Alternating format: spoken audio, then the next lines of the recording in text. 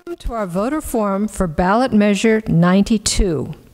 This forum will last approximately 45 minutes and will cover State Ballot Measure 92 mandating the labeling of genetically engineered foods.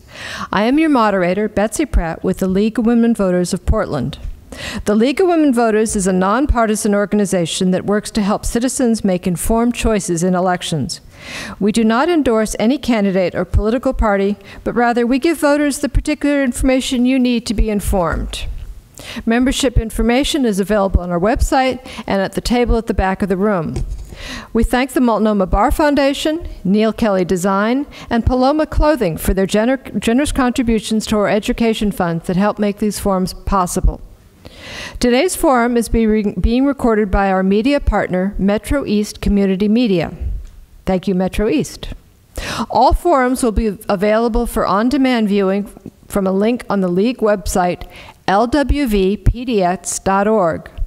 To view the forums on local access cable TV, see the playback schedule on the table at the back of the room and also posted at the League website.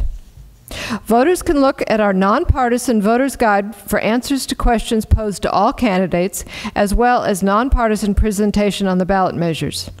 The voter guides are located on our information table in print form and are also available at our website, lwvpdx.org. You can find free copies at Multnomah County Library branches and at the Multnomah County Elections Office. Tell your friends. Another important, voter resource is housed in the Secretary of State's website. It's called ORESTAR and enables you to see the financial sources for campaigns, to follow the money if you like. Type O R E S T A R into your browser. Finally, to see information on the candidates and ballot measures that will appear on your ballot, go to vote411.org. Enter your street address and the voter's guide inf information for those items on your ballot will appear. Today, October 14th, is the last day to register to vote for the November 4th election. If you've not yet registered, you must do so online at oregonvotes.gov by 11:59 tonight to receive your ballot for this election. Ballots will be mailed beginning around October 15th, so you should have them early next week. Now to our forum. To discuss Measure 92, we're joined today by Dave Rosenfeld of OSPIRG and Colin Cochran of the No on 92 Coalition. Thank you both for coming. Our forum will consist of opening statements followed by different types of questions, then closing statements. For each round of questions, I will rotate the respondents so the same speaker is not always the first to answer, so you have to be alert.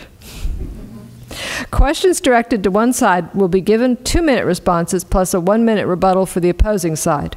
For questions that apply equally to both sides, respondents will have up to 45, 75 seconds to present their answer.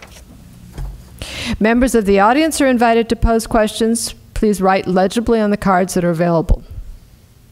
Time sitters, a timekeeper sitting in the front row, thank you, will issue a 15 second warning and then a stop signal when your speaker's time is expired. And we have a demonstration. So let us begin.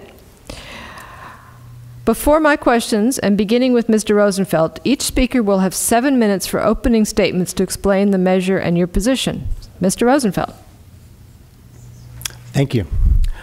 Uh, good evening, and um, thank you all for being here, and thanks to the League of Women Voters for putting on these kinds of events. Uh, we've had a long history of working with the League uh, on various uh, initiatives related to improving our democracy, and so we're glad to be here. My name is David Rosenfeld. I am the executive director of OSPIRG, the consumer group. And uh, my organization has uh, been advocating for consumers here since 1971. We are really proud of our track record over the years.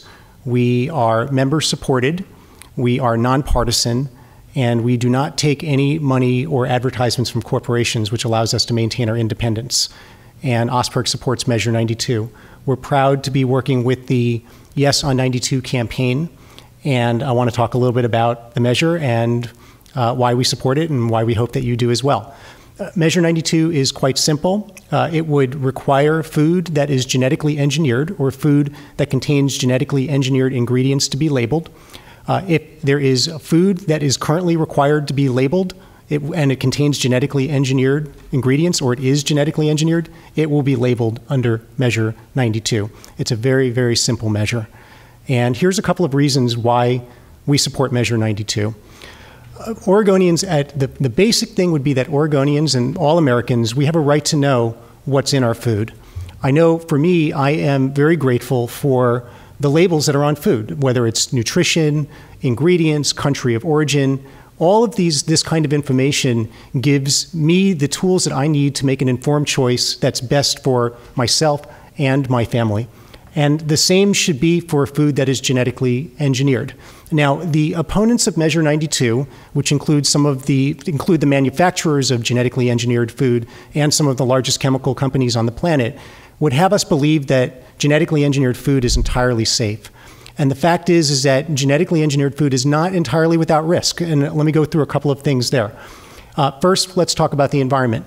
Genetically engineered crops are responsible for a 527 million pound increase in herbicide use in the United States between 1996 and 2011. All of that additional spraying has led to the rise of herbicide resistant weeds. They're often called superweeds, and these superweeds are now spreading across America. Because now those superweeds are harder to kill, it's prompting then farmers to have to then spray even more pesticides, herbicides, which is a form of pesticide, um, on crops. And that's a big problem for the environment, um, our water supply, and so forth and so on. In addition, the U.S. Food and Drug Administration does not require genetically engineered food to be safety tested before they hit store shelves. And on top of that, to the extent that there is any testing that is done on genetically engineered food, the Food and Drug Administration allows that testing to be done entirely by the manufacturers of genetically engineered food themselves, such as Monsanto. And that is a classic example of the fox guarding the henhouse. Now, um, given then the pesticide risk, um, given that genetically engineered food is not not required to be independently tested for safety before they hit store shelves, we think at the very least, let's put a label on the food and give consumers the right to know, and then consumers can decide for themselves. And that's what Measure 92 is all about. This is not anything new. American food companies already tell consumers in 64 countries all over the world whether or not their food is genetically engineered. And in many cases, they have been doing that for well over a decade. There is no evidence that in those countries, a third of the world's population, there is no evidence that food prices went up, as the opponents of Measure 92 will oftentimes tell you. Um, nor is there any evidence that any of the other sky is falling predictions have come to pass. We wrote Measure 92 to conform with international labeling standards. We wrote Measure 92 to conform with American labeling standards, and um, and, and, so it, it really is uh, that that simple. And uh, the, the, the one last thing that, that, that, I'll say about all of this is that, um, well, I, I, should say this, is that passing Measure 92, what really happens is that we join the rest of the developed world in giving consumers a very basic piece of information. Now, um, one last thing would be that, uh, of course, you should decide how you're going to vote on Measure 92 strictly on the merits of the issue itself. However, um, I think it is reasonable for you, in the course of making your decision, to take into account who is behind the No on 92 campaign. Um, I, before I came here, I went into ORESTAR, as was referenced earlier, um, to just take a look at what is the latest on who's spending money on the different campaigns. And um, the No on 92 campaign has um, a little less than 30 total donors. And with one or two exceptions, um, all of those donors um, represent the largest, most powerful chemical companies, agribusinesses, and food companies on this planet. No Oregonians. Uh, in contrast, the, the yes side has over 21,000 donors um, my organization, OSPIRG, is one of the groups working on the Yes campaign. Our activities promoting the ballot measure um, are financed by uh, a little over 7,000 donors. Um, almost all of them, with I think two exceptions, um, are Oregonians. Um, most of the contributions that we're getting are under $100, uh, in contrast to Monsanto's 1.5 million right there. So, like I said, please decide the issue on the merits. That's an important thing to do. But I, like I said, I don't think it is unreasonable to take into account um, the, which, which side really is people powered and which side is financed largely by out of state special interests. Thank you. Okay, thank you, Mr. Rosenfeld. Uh, Mr. Cochran, you two have seven minutes to introduce yourself and present your position. Ready? I am. Thank you so much for having me um, today. I really appreciate the opportunity. My name is Colin Cochran. I'm with the No on 92 Coalition, and we represent thousands of Oregon family farmers, ranchers, small businesses, and concerned citizens, all of whom have come together to urge a no vote on Measure 92 because it is a poorly written measure that fails on its fundamental promise of delivering consistent, accurate, and reliable information to Oregon consumers. Under Measure 92, thousands of food products that contain zero genetically engineered ingredients will require a label. By the same token, thousands of products that actually do contain genetically engineered ingredients will be exempt from any sort of label under Measure 92's numerous loopholes. That's bad information, and I'll give you an example of what I'm talking about. Sugar. A good chunk of the sugar that sits on our shelves and that goes into our food products comes from sugar derived from genetically engineered sugar beets. But by the time that genetically engineered sugar beet is actually processed into sugar, any sort of genetically engineered material is removed. And you can see that on your label of any sugar package, it says 0.00 when it says protein on, on the ingredients list. When we're talking about genetically engineered ingredients, we're talking about the protein. Actual studies have been done comparing genetically engineered or uh, sugar beet sugar to non GE source sugar, and they've been found to be identical. Zero traces of genetically engineered ingredients in that sugar, yet that will require a label. Any product that uses that sugar with zero GE in it will require a label. Same holds true with cornstarch, corn oil, soy oil, canola oil. These are all things that, when processed, any trace of genetically engineered ingredient is removed, yet they and thousands of food products that use them as ingredients will trigger a label. Again, that's bad information. By the same token, two thirds, two thirds of the food that we as Oregonians consume will be exempt from labeling under Measure 92, even if they contain genetically engineered ingredients. Restaurant food will be exempt, so the soda I get in Jack in the Box won't require a label. If I go to Albertsons and, and pick up a six pack of the same soda, that will require a label alcohol exempt. Non alcoholic beverages, however, will require a label. So in the alcohol aisle, uh, my, my bottle of Budweiser, or we're in Oregon, let's say Mirror Pond, will, will require a label. If I go pick up a, a six pack of O'Doul's, or excuse me, the, the mirror pond will not require a label, the O'Doul's will. Inconsistencies, food packaged as ready to go or ready to eat will also be exempt from labeling. So if I pick up a bag of chips in aisle five, let's call them Doritos, and then at the same grocery store, go to that deli, pick up a sandwich, get the combo meal, and with it comes a little bag of Doritos, the little bag won't require a label because it's ready to eat, thereby exempt under Measure 92. The big bag will. Again, inconsistencies cafeteria food, so food served in our schools, our hospitals, our nursing homes, exempt. Exempt from any sort of label. And this last point is important too. Meat, milk, and eggs from animals that have been fed genetically engineered grain and injected with GE uh, medication will be exempt from any sort of label. And this last point is important because it conflicts with reliable and existing national standards that help us as consumers avoid GE ingredients if that's what we want to do. We can go into any store as consumers, and if we want to avoid GE ingredients, as is our choice, we can do so with utmost confidence by buying the organic label or the non GMO verified label. Both of those are accurate, consistent, reliable national standards, and by buying them, you can be 100% certain you're avoiding genetically engineered ingredients. The same does not apply for Measure 92. So, what are we getting with Measure 92 besides bad, conflicting information? We're getting a heck of a price tag for the state of Oregon multiple studies from researchers from institutions like Cornell University, UC Davis, Washington uh, Academy of Sciences, Washington Research Council have all looked at single state measure or single state labeling laws like Measure 92 and have found that food costs will go up significantly, hundreds of dollars actually per year for the average family. Our own legislative revenue office has taken a look at this and has and, and anticipates significant economic impacts they anticipate costs to rise and they anticipate those costs to be passed on to consumers. Our own Department of Administrative Services has looked at the potential tax implications, and they're big because this is going to require two new bureaucracies to be implemented or to be established to implement and oversee Measure 92. Their tax bill, or I should say our tax bill, per budget cycle is going to be over $14 million. Those are real, real dollars for our still fragile Oregon economy, and those consumer costs are real costs, especially when you think about how many Oregonians are still living in hunger, hunger and struggling in this economy. So, where do those costs come from? They do not come from the cost of printing and applying a label. Those costs are insignificant. The true costs come from what we call identity preservation costs.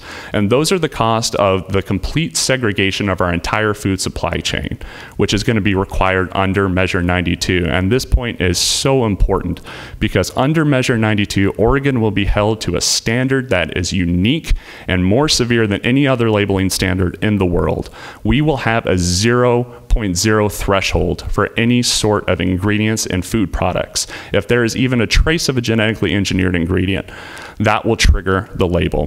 What that means is, again, complete segregation of GE and non GE products up and down the food line, starting with our farmers. For farmers, whether they grow GE or non GE, they're going to have to take extreme measures to make sure that their products and their crops aren't coming into any sort of contact with genetically engineered ingredients. That means they can't use the same grain elevators they probably used to. If you grow GE and non GE crops, that means you're probably going to have to have, you will, no probably about it, you will have to have two combines two silos, to complete segregation of your entire supply chain. Most family farmers in Oregon, or in Oregon can't afford that. Those costs go up the food supply chain, and you're going to see a couple things happen when it comes to food suppliers. One, you're going to see products start to disappear off the shelves, and this happened in Europe. Oregon is such a small state, we represent less than 1% of our national food market. And because of that, products are simply going to be pulled because it won't make economic sense to keep them on the shelves. Those products that do stay on their shelves will be repackaged and remade with more expensive ingredients. Ben and Jerry's is, sh- is shifting to a complete non-GE product, and their cost they aren't even all the way there yet, 15 to 20 percent. So, to summarize, this is a bad measure. It won't give us the information that we need to make informed choices, and it comes at the cost of tax, uh, at, the, at the expense of taxpayers, Oregonians, um, or, and, and regular consumers. We urge a no vote.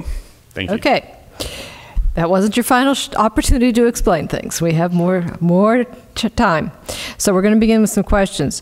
We're going to open the questions section of this discussion by allowing each of you to ask a question of the other. And you, each person will have two minutes to respond. And I'm going to start with Mr. Cochran. What question would you like to ask the Yes on 92 campaign? Well, you heard me speak a lot about costs, and my question is cost related. So, my question to the Yes on 92 campaign would be why did you, are you taking such a deliberately small view of the potential cost implications? They've touted a study that, that has a very, very small dollar amount um, per, per year. And, but, and, and excuse me, but that, that study, however, was clearly, clearly, clearly um, basically focused on just the cost of developing and applying labels. However, the Oregon's Independent Citizens Initiative Review Panel, along with numerous academic and scientific studies, have concluded that the cost of actual labeling, labeling are a tiny fraction of the cost of compliance and certification. You mentioned Europe. Uh, the European Commission released a report on the labeling law prepared by the Food Chain Evaluation Consortium. And this is a direct quote. The new provisions generated no significant labeling costs, but did generate additional identity preservation costs. That's from a 2010 report. So when you say the costs start and stop with labeling, aren't you not giving the complete picture to Oregonians? We are giving the complete picture to Oregonians. So let's just unpack all of that. First off, you're, you're wrong about the European Union. The European Union took a look at their labeling laws that were on, have been on the books for over a decade and found costs did not go up, period. That, that's what they found. We take a very broad view, in fact, because it's not even just about the European Union. We're talking about 64 countries around the world for well over a decade have been requiring American food companies to label their products in those countries. So Kix, for example, that breakfast cereal, it's the same product, grown, made with, in a lot of cases, corn, grown here in the United States, manufactured here in the United States, sold here in the United States, and sold in other countries. Here, no label, there, a label. Sky is falling scenarios did not happen. That's the big picture. That is the big look at the whole thing. Now, the study that Mr. Cochran is referring to is a study that was done by Consumer Reports. Consumer Reports, the, an, an independent organization that takes no corporate money as well. Um, and what they did was they took a look at all of the relevant economic analyses that have been done on the impact of labeling, all of them, ones that are favorable to the way we look at things and ones that are not so favorable. It's called a meta analysis. And when they averaged all of those out, they found that food prices at most would go up $2.35 or thereabouts a year, less than a penny a day. In contrast, the Cornell study, the UC Davis study that Mr. Cochran um, references are um, paid for by various donors to the No on 92 campaign. So that's the answer to your question. Okay, uh, thank you. Mr. Rosenfeld, what question would you pose to the No on 92 coalition? My question is, and I apologize for having to actually reference the law that we're proposing, but I think we have to do that in order to be able to get to the bottom of things. You have made, and your campaign has made a lot of assertions that there are lots of exemptions in Measure 92, that it would exempt all kinds of foods from being labeled. What I would ask for you to do, please, is to um, give this group one example in the proposed ballot measure. And what I would ask you to do is please cite the section and the subsection so we can actually be looking at the same thing. Then give me one example of an exemption in Measure 92. I was always told, excuse me, that it's impolite to answer a question with a question, but I would I would posit are you saying that those things that I listed when it comes to restaurant food, when it comes to meat, milk, and eggs and dairies that have been fed genetically engineered grains, when you talk about prepackaged or ready to eat foods, when you talk about cafeteria foods, are those things covered?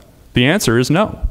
The answer is no. So they're being a little too cute by half with the language the, the word exemption might not be there, but the letter of the law, much like the squabbles that they have with the fact that this is a zero threshold, this is a zero threshold, relates to the language that they put in there. But when you actually apply their measure, all the things that I listed as exempt will indeed be exempt. Okay. So I've got some prepared questions, and I'm going to that both of you get to answer, and you'll have 75 up to 75 seconds to respond. Tell us why the organic label is sufficient or not sufficient to cover the intended effects of this measure. So, how does this compare? And we'll start with Mr. Cochran sort of the organic and the non-GMO verified label, both of which are incredibly, incredibly successful and growing and growing and growing. You're seeing more products um, labeled organic and non-GMO on the shelves every day. They are a suitable alternative, and I, it's not even an alternative. It's there. If you want information about how to avoid genetically engineered products, it's there. It's far superior to what's being proposed under Measure 92 because it's consistent, accurate, and reliable. The the loopholes, the exemptions um, under Measure 92 simply don't exist under natural and organic. Meat, milk, eggs, and dairy that are exempt from labeling under Measure 92 are not allowed to be qualified as organic and non GMO. At the same token, those thousands of food products, things like sugar, you know, uh, sugar, canola oil, all of those things, all of those things, where that basically under Measure 92, you're going to assume that the presence of a label means presence of a genetically engineered ingredient when it's not the, that's not the case. That kind of inconsistency and, well, am I really getting what I think I'm going to get does not exist with those two labels. Okay. Ms.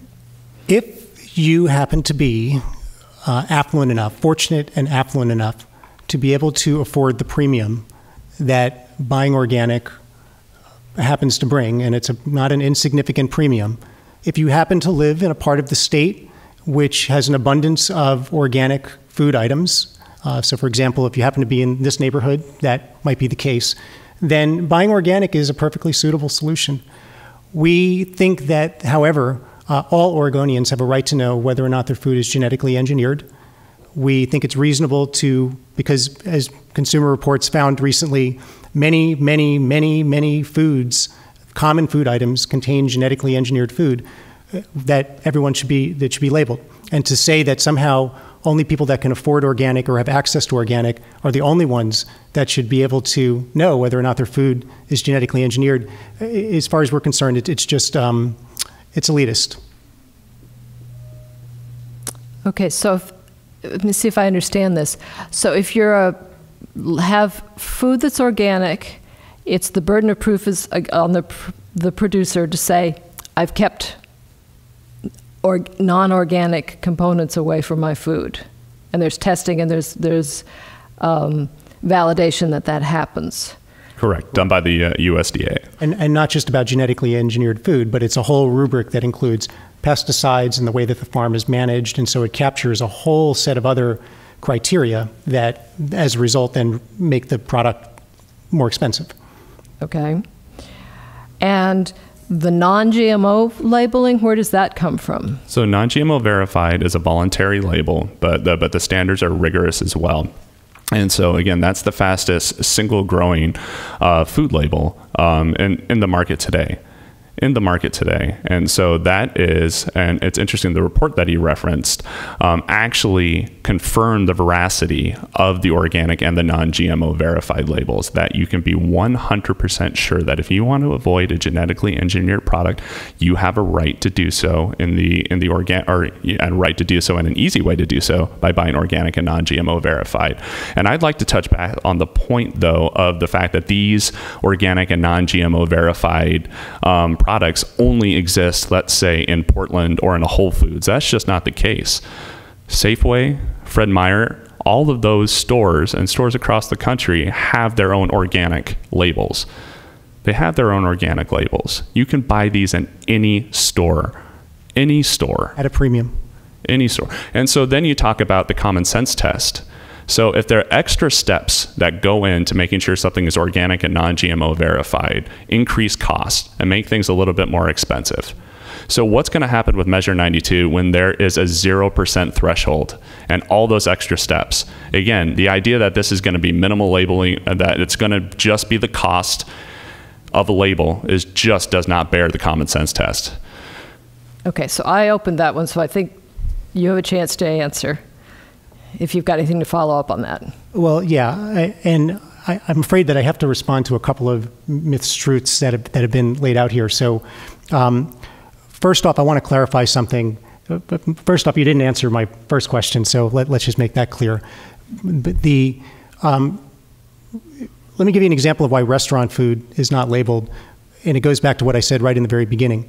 If food is required to be labeled under current law, and it contains genetically engineered ingredients, it will be labeled under Measure 92. Restaurant food is not required to be labeled under current law.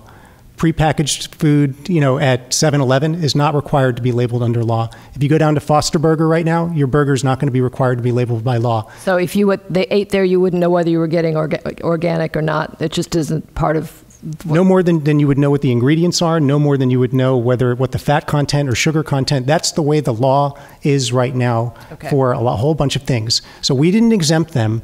The overall American rubric for labeling exempted them.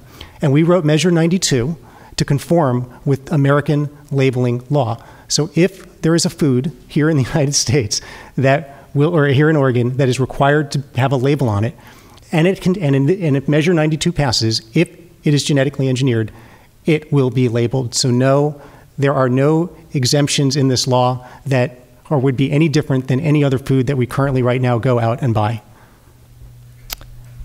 Okay. We're going to come back and spend some more time on the cost part. Uh, the cost burden estimates to producers and consumers vary widely between the two campaigns. Is there any middle ground to be found there? Um, is there any practical experience that we can talk about that that lets us know what the what the costs are going to be? Can, you, can we spend some more time on the cost stuff? And I'm going to start with Mr. Rosenfeld. and I'm afraid I'm going to be somewhat repetitive here, um, you know, by, just by virtue of how simple this comes down to. But the practical experience is a third of the planet. Uh, you know, labeling laws began to be put into effect um, in the late 1990s, um, starting in the European Union. There's now 64 countries, including Japan, Russia. There are South American countries. There are countries in Africa that require labeling. American food companies sell their products into these countries and they label them. And in many cases, they've been labeling them for over a decade. Food prices did not go up. There's no evidence of it. And any of the other sky is falling as, um, assertions didn't happen as well. Farmers are still doing fine.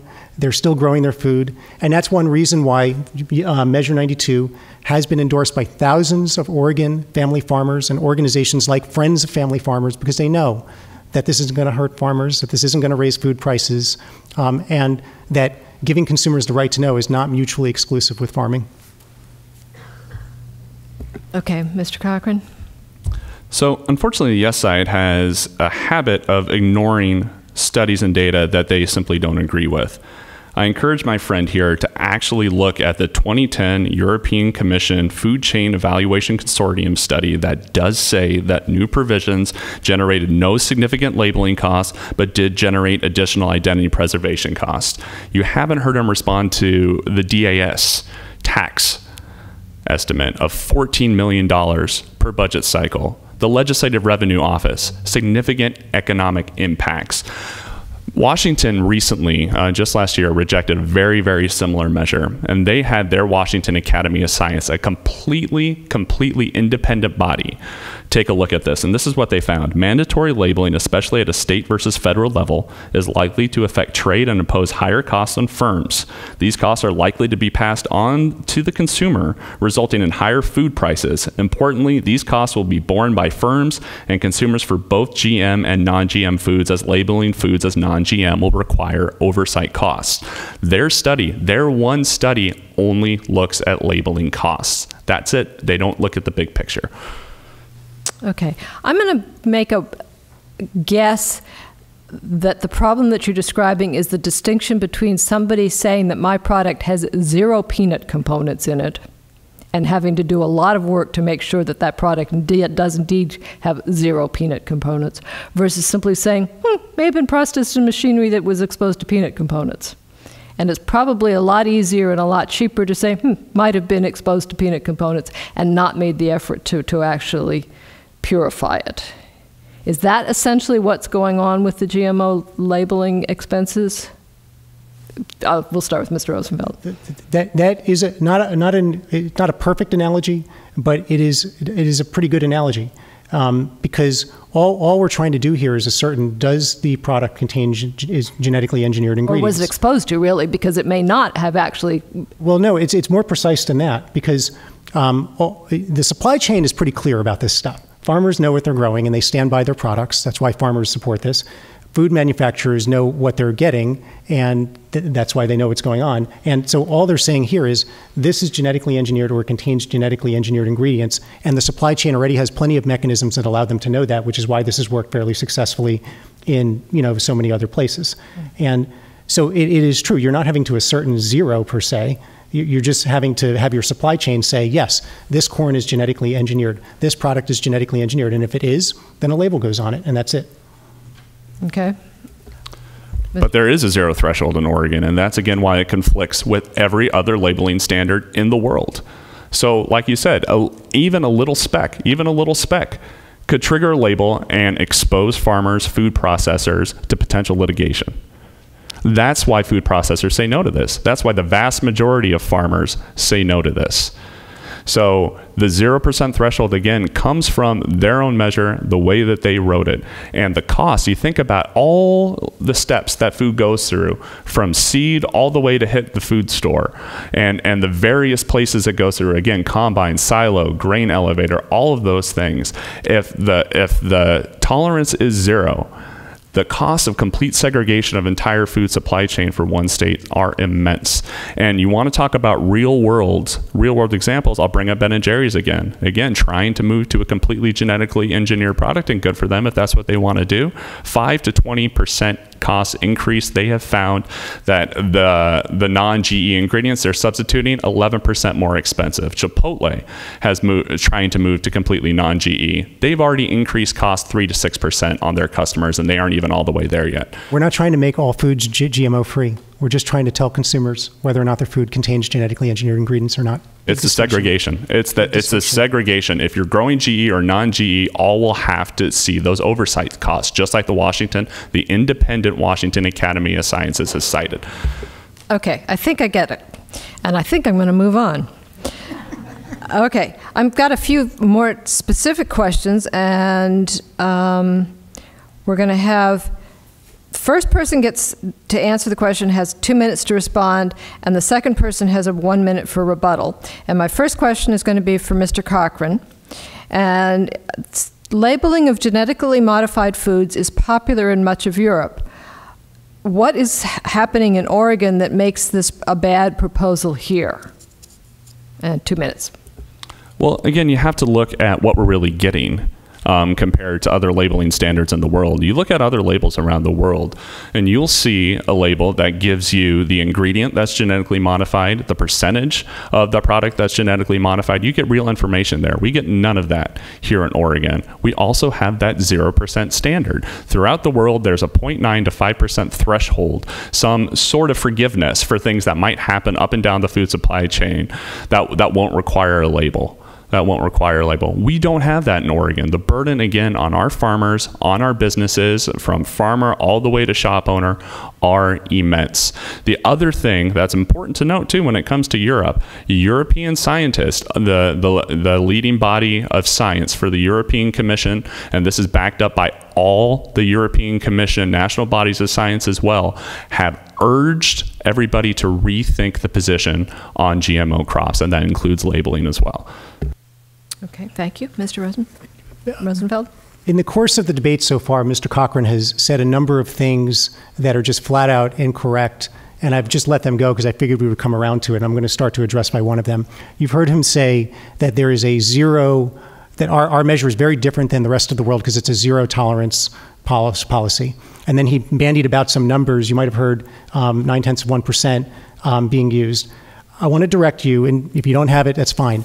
Section 6, subsection 3A, contains that exact standard, and it is by no means zero.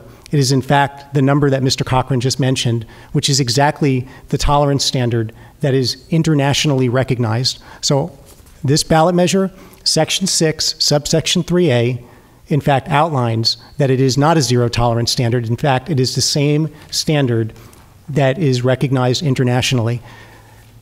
As I said at the beginning, that's how we wrote Measure 92, to conform with international standards. And we wrote Measure 92 to conform with national labeling standards. So if it's labeled here already and it contains genetically engineered ingredients, it'll be labeled. Okay, thank you. All right, and I'm going to start with a question for Mr. Rosenfeld. Much of the marketing of Measure 92 um, seems to presuppose that GMOs are something undesirable.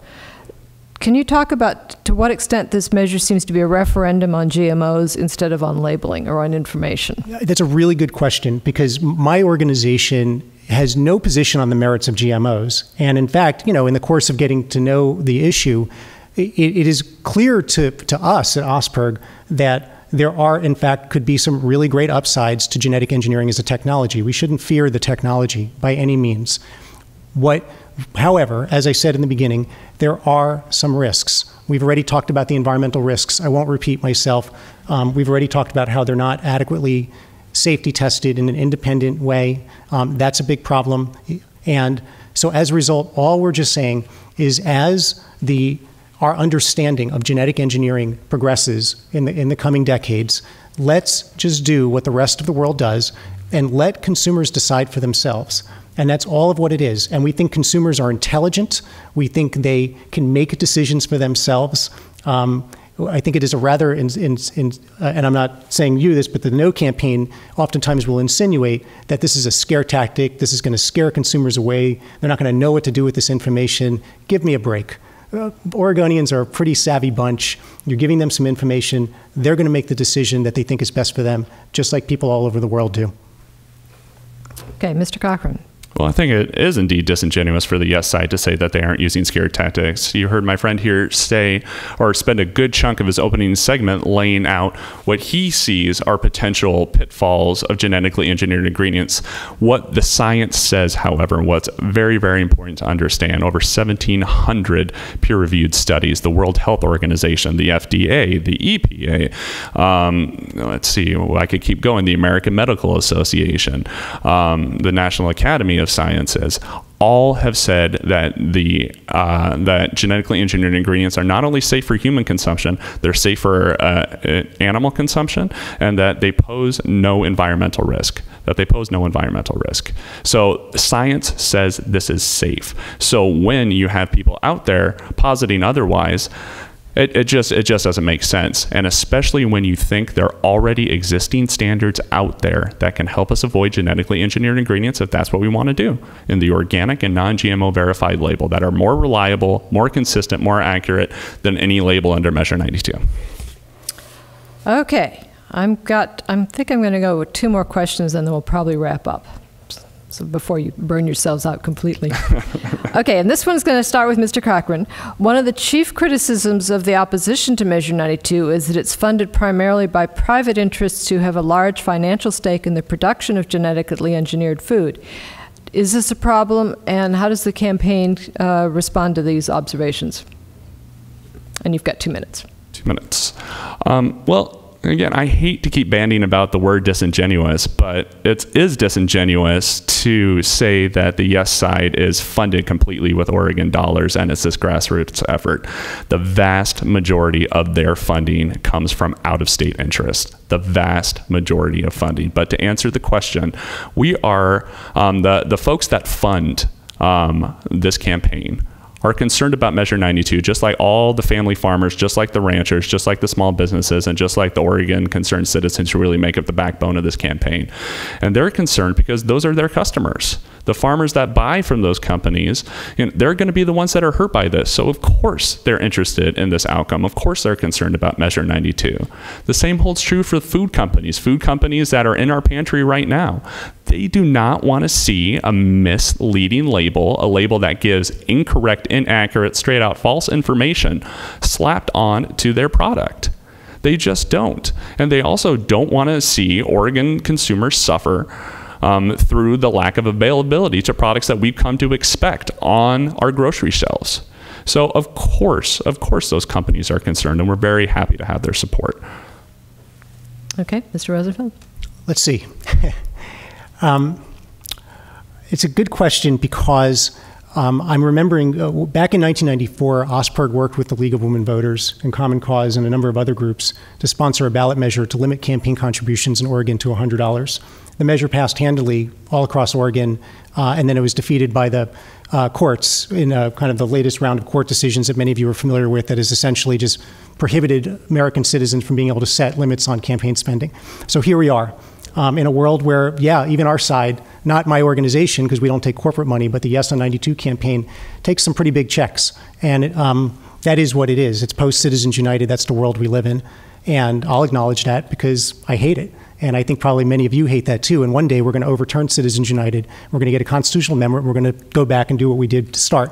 But you cannot deny our side has over 20,000 donors, Oregonians, over 1,000 volunteers, real people.